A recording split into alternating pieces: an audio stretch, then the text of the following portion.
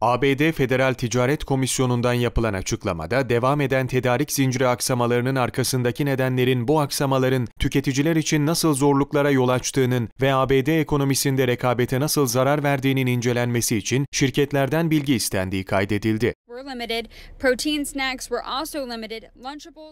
Ülkedeki 9 büyük perakendeci, toptancı ve tüketim malları tedarikçisinden ayrıntılı bilgi talep edildiği belirtilen açıklamada, bu şirketler arasında Walmart, Amazon, Kroger, CNS Wholesale Grocers, Associated Wholesale Grocers, McLane, Procter Gamble, Tyson Foods and Kraft Heinz'ın olduğu aktarıldı. İn Los Angeles and Long Beach that handle almost Açıklamada 45 gün süre verilen şirketlerin tedarik zincirleriyle ilgili stratejiler dahil olmak üzere fiyatlandırma, pazarlama, maliyetler, kar marjları, satış hacimleri, tedarikçi ve marka seçimiyle pazar paylarına dair dahili belgeleri sağlamalarının gerekeceği ifade edildi.